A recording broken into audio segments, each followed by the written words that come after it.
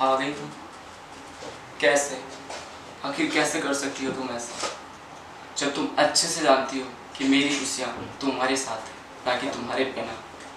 तुमने इतनी आसानी से कह दिया कि मुझे भूल जाओ। अरे, मैं ही पागल था। समझ तो मुझे तभी जाना चाहिए था जब तुमने अपनी तरफ़ से कभी भी मुझसे बात करने की कोशिश नहीं की। अरे, जो इंसान बात नहीं कर सकता तो आप क्या खाक करेगा? चली जाओ तुम मेरे यहाँ।